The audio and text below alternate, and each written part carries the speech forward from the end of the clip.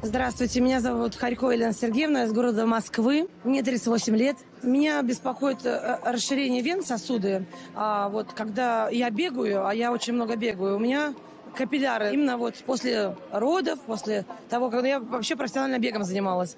И вот как раз вот на этом фоне все это как вот, полетел, не знаешь, как это объяснить. Я просыпаюсь с утра, у меня топтышки вот бывают на ногах. И ужасная боль.